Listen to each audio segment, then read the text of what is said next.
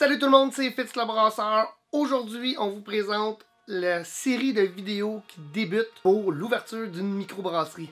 J'espère que ça va vous intéresser, puis j'espère que vous allez en apprendre vraiment beaucoup.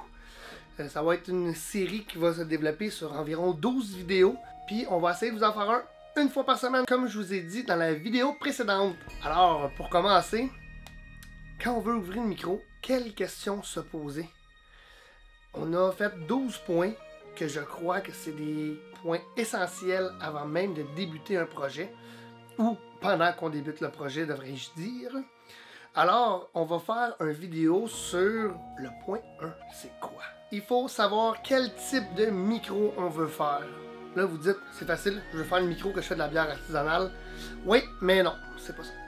Premièrement, il faut savoir si on va faire un type de brewpub ou un type de micro industriel. Si vous connaissez pas la différence entre les deux, je vous l'explique dans cette vidéo-là. La première, c'est le brewpub. Dans les minutes, j'en oublie une. Il y en a trois sortes. On peut faire brewpub, industriel et les deux en même temps. Le permis industriel permet de faire le permis de brewpub et d'industriel aussi. Première chose, on va parler des micros brewpub et les micros industriels, la différence un peu entre les deux. Puis si vous voulez faire le troisième qui est un peu les deux en même temps, bien à vous de demander le bon permis et d'avoir les bonnes connaissances pour faire les deux. Premièrement, la micro brewpub, c'est quoi? C'est un établissement où que le monde va venir dans votre, dans votre local pour venir déguster de la bière. Un petit pub, euh, un petit bar si vous voulez. Vous pouvez y servir de la nourriture, qu'est-ce que je vous conseille fortement? Le brewpub va vous donner l'opportunité au Québec de vendre de la bière en growler. Ça veut dire que vous pouvez prendre votre growler, le remplir au tap et le donner au client qui va venir. Fait que vous pouvez faire un petit peu de vente aussi pour la consommation à la maison. Le permis industriel, lui, qu'est-ce qu'il va vous faire?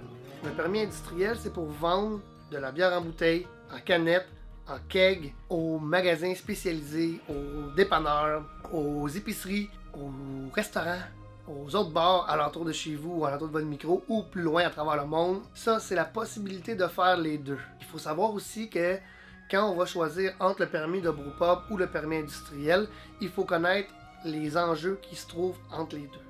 Si on veut faire un permis de brewpub, on a besoin d'un emplacement, on a besoin des tables, on a besoin du monde, du service, donner un bon service à notre clientèle. On a besoin d'avoir des tapes, euh, des fossettes si vous voulez, euh, la chambre froide ou un pack glycol. Comme vous allez décider dans votre plan d'affaires, on va tout voir ça plus tard dans des vidéos plus en détail. Si on veut faire un permis industriel, on a besoin d'un équipement assez gros on a besoin aussi d'un équipement pour mettre en bouteille ou pour mettre en canette si on le désire. Il faut l'équipement aussi pour le mettre en keg, le lave keg, etc.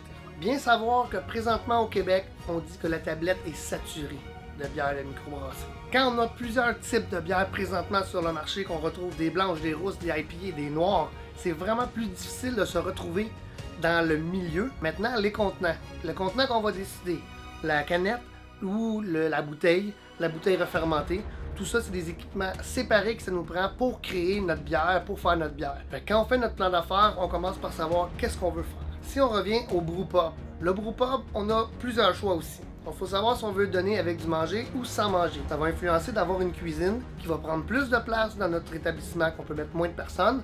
Par contre, on va garder notre client plus longtemps en magasin parce qu'il va pouvoir manger s'il a faim et continuer à boire et à déguster d'autres bières qu'on nous a créées pour eux. Qu'est-ce qu'il faut savoir aussi, c'est qu'il y a différents permis qu'on a besoin, tout dépendant de qu'est-ce qu'on veut faire. Si on fait un brewpub, on a besoin d'un permis de bar pour servir la boisson. On a besoin d'un permis de terrasse si on a une terrasse, une autre sorte de permis de bar. On a besoin d'un permis de spectacle si on veut créer ou donner des spectacles à nos clients. Et on a besoin aussi d'un permis de fabriquer la bière artisanale. Tandis que si on va dans la micro-industrielle, on a seulement besoin de notre permis industriel.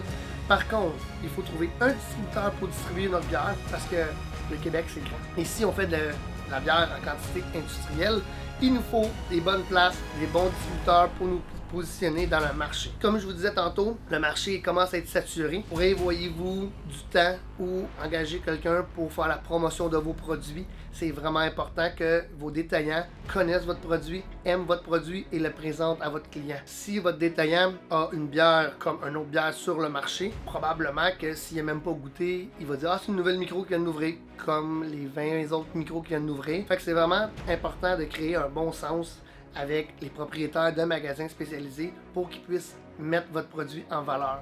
C'est vraiment eux qui vont mettre le produit en valeur pour vous, malgré vos sites web, votre Facebook et tout.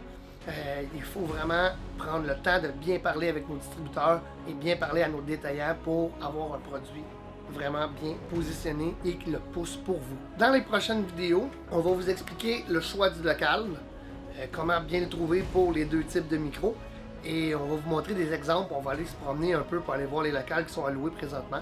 Je ne sais pas si on être capable de rentrer dans certains. Euh, une semaine, c'est assez vite pour faire toutes mes vidéos. Puis aujourd'hui, il pleut à Sio, fait que j'aurai probablement pas le temps d'en faire aujourd'hui de plus.